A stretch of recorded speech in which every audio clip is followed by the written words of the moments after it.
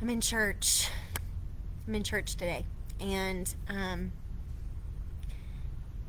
this, what I'm about to say, is for people that are struggling.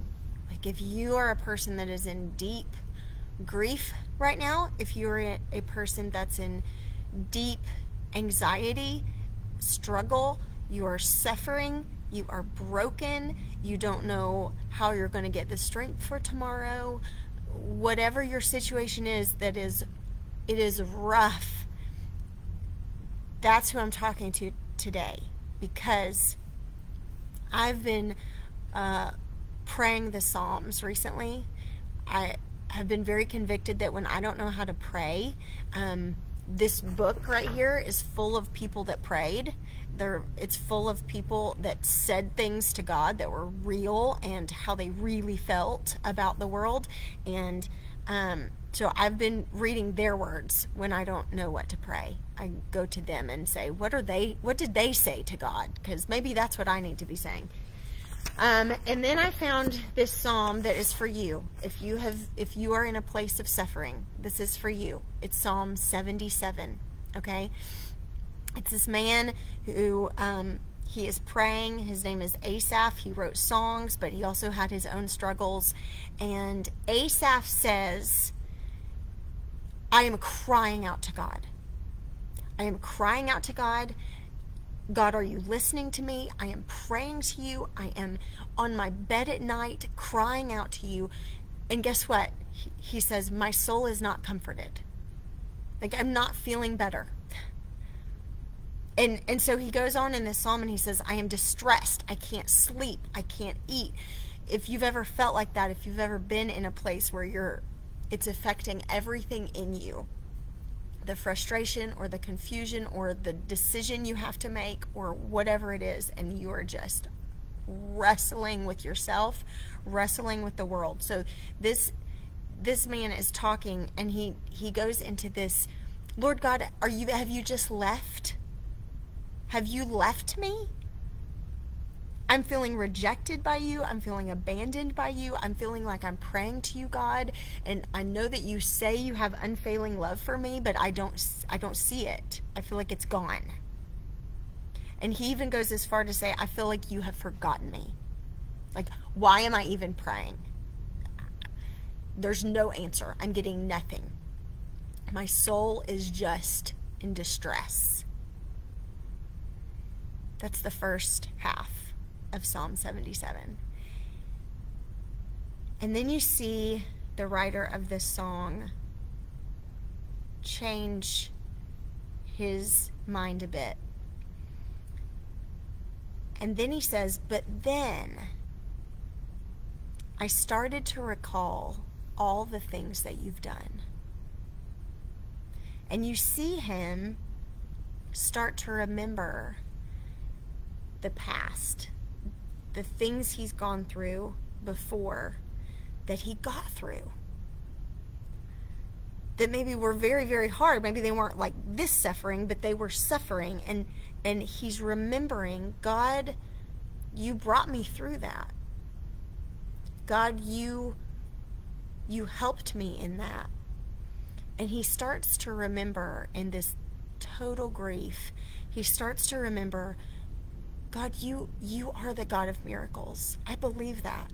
I believe that that your ways are holy, that you are mighty, that you do do great wonders. You you do those things. And that's who I really believe that you are. And he he goes on to say, God, you know what? I'm remembering now. Like you're everything. You're over the the sea, you're over the wind, you're over the thunder. Like the waves and the wind, you control those things. And so at the very end of this psalm, you see this man write, and this is what it says. It's like, it's the most beautiful picture to me. He says, Your road led through the sea, and your pathway led me through the mighty waters. Though your footprints were not seen. Though your footprints were not seen. This author is like, I, I couldn't I couldn't see it in that moment, God, when you were when you were carrying me through that situation, when you were getting me through that struggle, when I was wrestling and suffering and and and you made a way and and I got through that. I now I now can see that that was you. I couldn't see your footprints while it was happening. I couldn't I couldn't see exactly what you were doing. But now I can look back and I can go you were there. You were there. This writer is saying that to himself to remind himself in his grief, in his current state of grief, in his current struggle. He's reminding himself, God, you were faithful years ago. You, I'm remembering now, you got me through that thing that was so hard in the past. You were there. So, Lord God, today, as I am struggling and crying out and frustrated and anxious and going, God, I don't see you. I don't see you, God. I don't see what you're doing. Where are you? It's in those moments that we have to remind ourselves God, you are there. You are there. I don't see your footprints right now. I don't see how you're working. I don't see how you're answering me. I don't see how you're hearing me and acknowledging what I need. And I don't see that right now. And it's making me feel very alone. And it's very, very hard.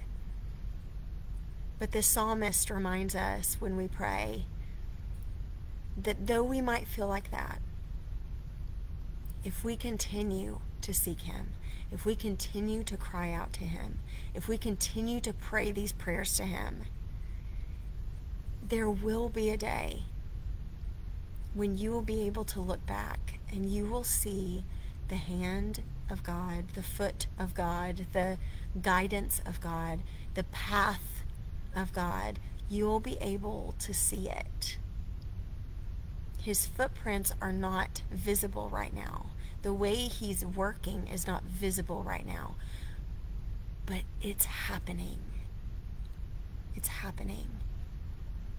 Scripture says that the Lord is close to those who are brokenhearted, and he lifts up their heads. And you may not feel like that right now, and you may be so broken right now and so distressed right now, not sleeping, not eating, whatever your case may be. And you may feel like you have been rejected or you have been abandoned or you have you're being ignored by him, by the God that supposedly loves you. And so I, I want to say to you today, Psalm 77, written thousands of years ago, it has a word for you. It has a word for that.